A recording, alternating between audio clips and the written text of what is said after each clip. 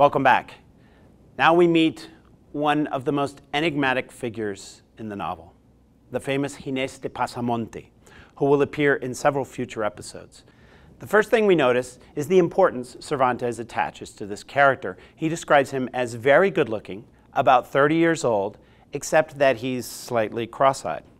Also, he comes bound differently from the rest, with chains everywhere, making him into a symbolic figure, perhaps some sort of projection of the spirit of our crazy Hidalgo. He even seems to be a kind of scapegoat, expiating the sins of the other criminals, because one of the guards says that he alone had committed more crimes than all the others combined, and that he was so daring and such a remarkable villain that although they escorted him like that, they did not feel safe in his presence and feared he would surely escape. Ginés de Pasamonte has been the subject of fervent debates among Cervantes specialists, also called Cervantistas. The novel's most chained figure seems to be a jab at a real historical character, Jerónimo de Pasamonte, a rival of Cervantes who wrote an autobiographical account in which he boasted of his exploits at the Battle of Lepanto against the Turks in 1571. Some critics even believe that Pasamonte authored the apocryphal continuation of Don Quixote published in 1614 under the pseudonym of Alfonso Fernandez de Avellaneda. Now, Cervantes was also at Lepanto, where he lost the use of his left arm, and he was apparently offended first by Pasamontes' inflated account of his heroism, and later by his spurious continuation of Don Quixote. But rather than reduce the origins of the modern novel to a rivalry between two veterans of Lepanto, let's consider Ginés de Pasamonte as a complex and important figure in his own right. Above all, we must recognize that Pasamonte is the novel's most representative example of the picaro, a liminal character somewhere between a thief and a beggar who can be defined as an anti-heroic protagonist of a certain genre of autobiographical narratives already typical of Spanish literature in the late 16th century. Without going into too much detail, just remember that the modern romanticized figure of the anti-hero has become commonplace in television series like Breaking Bad or films like Match Point. Now, the officer responsible for transporting the convicts confirms that Pasamonte has written the story of his life and that he left the book in jail pawned for 200 reales. When Don Quixote is shocked by this value, is it that good, he says? Pasamonte expressly cites the first example of the picaresque novel, it is so good that it's bad news for Lazarillo de Tormes and all the other books of that genre that have ever been or will be written. During this section of the novel, Cervantes clearly had in mind the themes and techniques of the picaresque. An obvious question arises what moral, social, or literary value did this type of novel have for Cervantes? All Cervantistas think we know, but it's doubtful that this issue will be resolved anytime soon. Next comes an interesting joke about the picaro. When Don Quixote asks if he has finished his book entitled The Life of Ginés de Pasamonte, the galley slave author responds, ironically, How can I be finished if my life hasn't finished? This might also be another of Cervantes' many autobiographical gestures. Like Pasamontes, Cervantes was a generic innovator. Likewise, he was a maritime soldier, and he was a prisoner several times, both in Algiers and Spain. Also suggestive, Pasamonte is already familiar with life in the galleys. I know what hardtack tastes like, and I have felt the whip. And when he says that under such circumstances he has had to compose his book by memory, I know it by heart, he says. This just might be a clue regarding Cervantes' own method. Even more interesting is the anti authoritarian turn that the novel takes at this very moment. Pasamonte irreverently claims that he has already been in the galleys. To serve God and the king, I've already rowed four years. And when the officer calls him a scoundrel, bellaco, he responds with an oddly formal, even legalistic expression of anger, insinuating that the officer has himself behaved in some criminal manner. Those gentlemen did not give you that staff so that you could mistreat us poor wretches here in chains, but rather to guide us and deliver us to where His Majesty commands. If not, by the life of enough, just be advised that one day those dark stains, manchas, at the inn might come out into the light. We never find out what Pasamonte is talking about. Which stains could these be? And at which inn did they occur?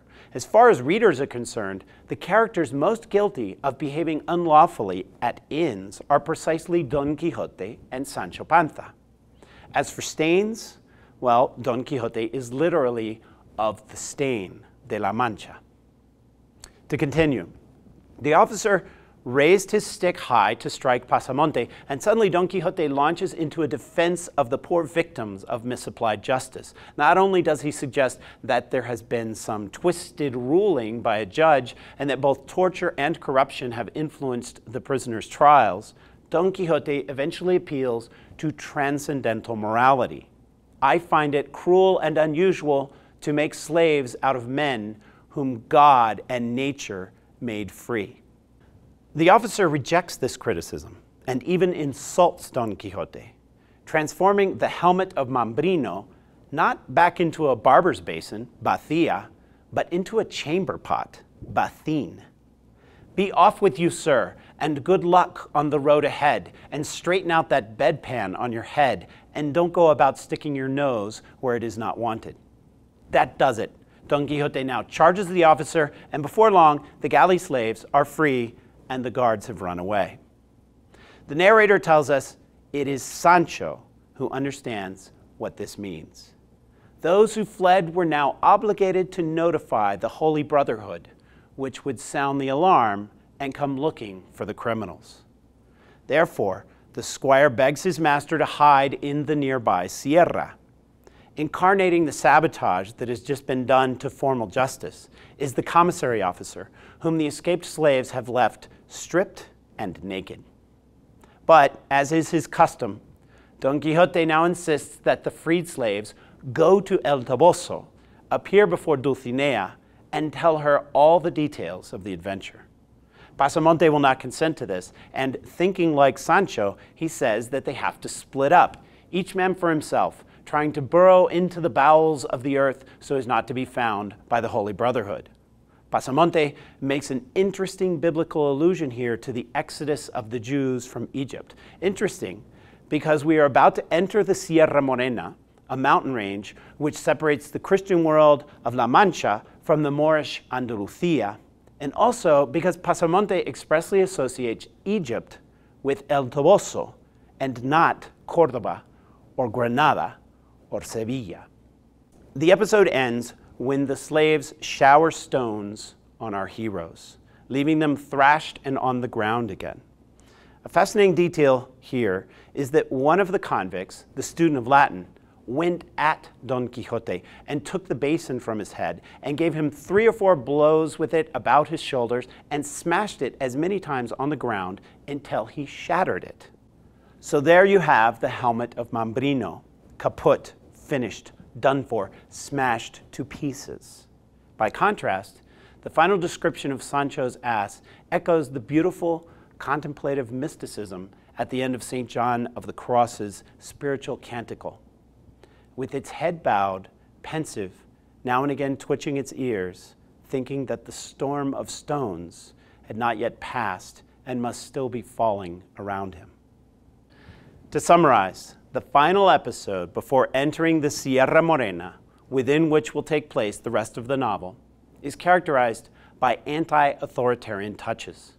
A tone that is critical of the judicial system of Spain around 1600, a series of energetic references to the picaresque genre, and more ethnic and cultural allusions, which continue to stress the problematic identity of our hero.